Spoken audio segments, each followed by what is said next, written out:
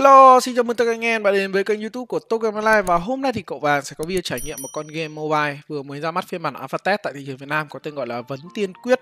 À, Con game này thì Alpha Test từ ngày hôm nay 23 tháng 6 cho kéo dài đến ngày 29 tháng 6 à, Tuy nhiên à, bản phiên bản Alpha Test này chỉ có trên Android thôi Nên nếu bạn nào không có máy Android ấy, thì anh em dùng à, giả lập nhé Rồi ok, chúng ta sẽ cùng nhau vào game và trải nghiệm con à, Vấn Tiên Quyết này. Thật ra mình cũng chưa tìm hiểu nhiều thông tin về con game này đâu, mình không biết rõ lắm.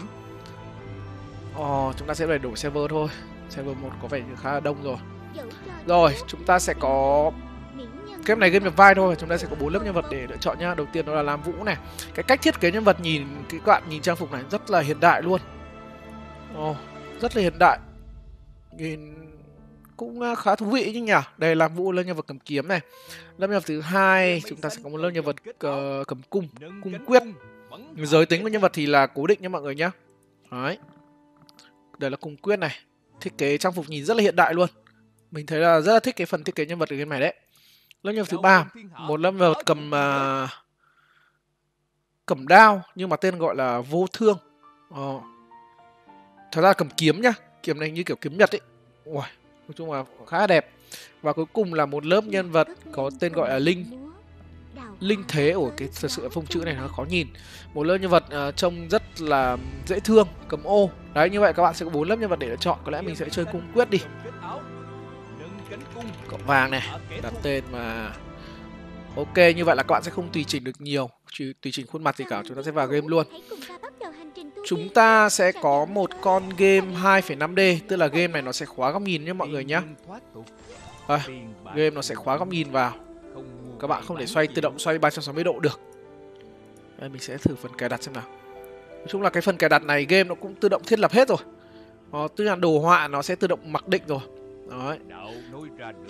nói chung là đồ họa thì là 2,5D nhìn uh, cũng uh, ok. Phần các bạn thấy nhìn là thiết kế bối cảnh ấy nhìn cũng rất là chi tiết nhá. Từ đây các cái mặt đất này nhìn khá là chi tiết.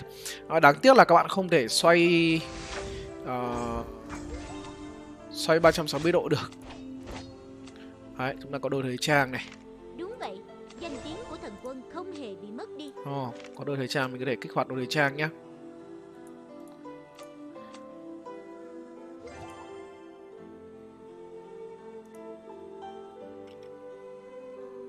Đấy, cơ chế chiến đấu thì hoàn toàn tự động rồi. Mặc dù cầm cung nhưng mà đứng rất là gần luôn.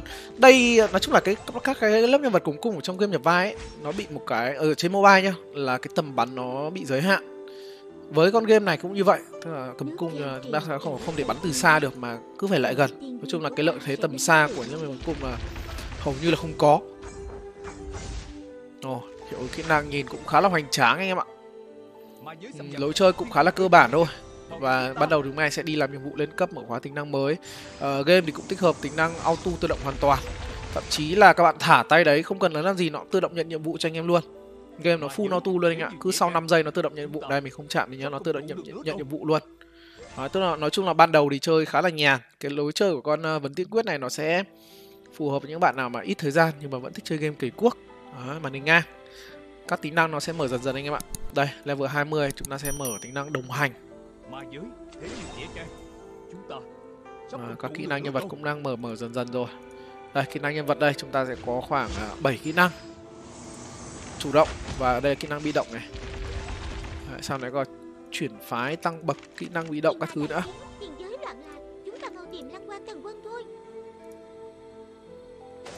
Level 70 chúng ta sẽ được tặng free VIP. À, Game này thì cũng chắc chắn là vẫn có VIP nhá. Và các bạn sẽ được tặng VIP VIP à, được tặng VIP khi lên cấp 70 cũng được. Nói chung là game nào mà có tặng VIP này thì mình nghĩ là anh em thích rồi. À, với con game uh, vấn tiên quyết này thì mình nghĩ là các bạn nên ít nhất là nên nên chơi lên VIP 4 ấy. Thì nó sẽ nhiều ưu đãi đây 5 ngày sau lên VIP 4 này. Ồ, nói chung là game này nó sẽ tặng à, VIP cũng khá là nhiều đấy. 30 chúng ta sẽ có tọa kỵ. Đây chúng ta có đồng hành rồi này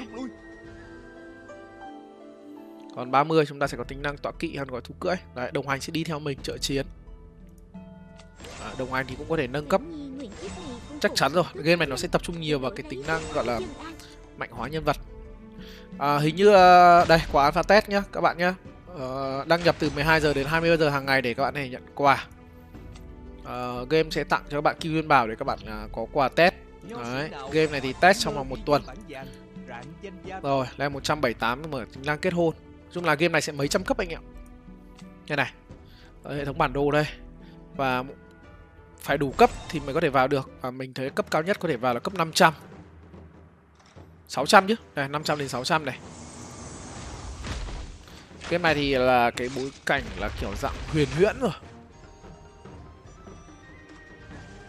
Chúng ta có cánh, ờ, có các kiểu. Rồi, có tạ kỵ nè. 45 chúng ta sẽ có cánh. Đó, như mình đã nói là game này đề tài huyền huyễn. À, chúng ta sẽ có rất là nhiều tính năng ở đây. Đây, tọa kỵ này. Ảo hình nhá. Chúng ta sẽ có rất là nhiều tọa kỵ khác nhau. Ồ, ngầu chưa? Được cống hiến cho quốc ư là niềm vinh dự của Ồ, các nó người. bị lỗi gì nó không hiển thị ở đây này. Đó. Có một số tọa kỵ nó không hiển thị ra. Hình như là mình đang tải thêm tài nguyên ấy nên là chưa mở.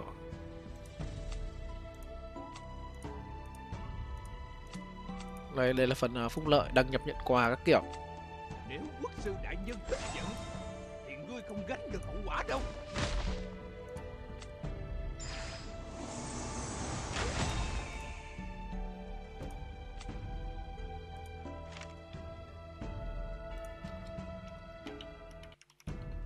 Cá Đội đấu với rồng, đừng trong ta cười.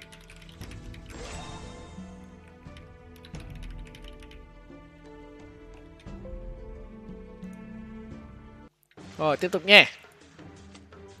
Chúng ta sẽ vào đánh boss này. à, cơ chế chiến đấu tự động thôi. Đấy, game rất là đơn giản dễ chơi. Nhưng mà được cái như mình đã nói đấy, được cái là cái hiệu ứng kỹ năng chiến đấu ấy thì ờ, khá là hoành tráng và đẹp nếu như mà anh em không quá khó tính. Rồi. Cái kiểu chơi này thì thật ra thì nhiều anh em quen thuộc rồi, cũng không có gì quá đặc biệt cả. À, bạn nào thích thì ờ, thích còn thật ra là bạn nào mà kiểu đòi hỏi một cái game nó mới lạ hơn ấy thì chắc là sẽ không khoái kiểu này đâu bởi vì nó không có gì quá đặc biệt cả ấy. ui ôi bay à? Cưỡi kỳ lân luôn ngầu dã man. Đây các bạn này nói chung là sau này game ra thì các bạn này nạp đầu nhá. Còn bây giờ đang alpha test thì đừng có nạp. Thiếu hiệp xin cứu mạng. Bản tôn ta thích nhất là bộ à đây mình đang tải thêm tài nguyên lúc nãy nên nó không hiện anh em ạ. Đấy đang phải tải thêm tài nguyên. Đấy, vừa chơi vừa tải tài nguyên. Mình nghĩ là cũng rất là hợp lý. Game này ra cũng nhẹ mà khoảng ghi thôi. Cái kiểu đồ họa nhà thì và nội dung game này thì nó cũng không có gì quá là đặc biệt để nặng máy cả ấy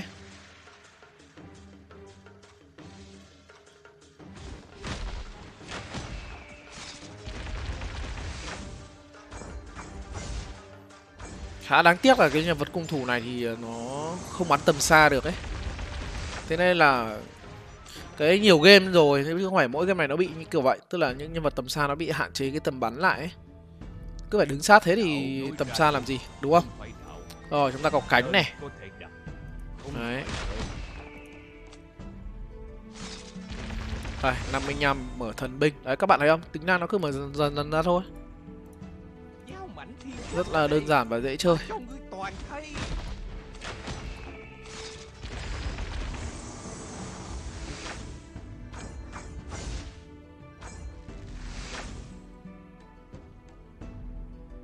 Việc yêu rừng quái khắp thiên hạ này là sứ mệnh của ta. Vượt ải rèn luyện. À chúng ta có tính năng à, ải phó bản.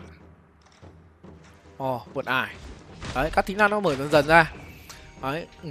nói chung là cũng không có gì nhiều để nói về cái con à, vấn tiên quyết này ở một con game mang đề tài huyền huyễn. Không có gì quá nổi bật phải nói vậy là anh em là như vậy. Đồ họa không phải dạng full 3D An Ngươi nhất định phải bình vậy thì cái điều gì sẽ thu hút anh em? Mình không biết nữa chắc là bạn nào mà đã không có game gì chơi thì có thể nghịch thử thôi bởi vì là thật ra chơi lâu dài hay không thì là một, một game là một phần ý, quan trọng là nhà phát hành ấy. Rồi Ờ, rồi cộng đồng game có đông vui hay không dạng game nhập vai này mà ít người chơi rồi tham gia các hoạt động chiến trường nó ít người chơi thì nó chán nhanh chán lắm. Nên là mình không biết là khen chê cái gì nữa. Đấy cái này tùy mỗi người đánh giá thôi. Đây, chúng ta có hoạt động hàng ngày này. Đây chúng ta sẽ có hoạt động và lịch tuần đây. Chủ yếu các hoạt động sẽ diễn ra vào buổi tối nhá. Từ 20 giờ và buổi trưa hoặc là 16 giờ thì có một số hoạt động khác. Đấy bang tranh bá quyết đấu đỉnh cao. Nói chung là hoạt động các game nhỏ vai bây giờ nó cũng như na ná nhau anh em ạ. Ở đây thì mình không thấy là game này nó không có hoạt động liên server gì cả. Đấy, khá là đáng tiếc. Game bây giờ phải liên server nhiều hoạt động liên server cơ. Chứ hoạt động nó cứ na ná nhau à? Đấy nói chung là game hay không ấy tùy mỗi người đánh giá nhé mọi người nhá với nhiều người thì sẽ cho con game này là dạng game mì ăn liền thôi chẳng có gì đặc biệt. Có những bạn lại thích khoái kiểu này vì nó đơn giản dễ chơi. Thì uh, cậu vàng giới thiệu đến anh em thôi. Còn bạn nào mà thích thì có thể nghịch thử con uh, uh, game uh, vấn tiên quyết này. Mình còn chả biết nhà phát hành của game này là ai cơ. Nó không ghi rõ lắm. Ồ không không không rõ nhà phát hành lắm anh em ạ đấy nhá con game này thì đang alpha test từ ờ, 10 giờ ngày 23 tháng 6 cho đến 18 giờ ngày 29 tháng 6 thì bạn nào quan tâm thì có thể tải và chơi thử. Lưu ý nhắc lại một lần nữa là game này nó mới chỉ có trên android thôi.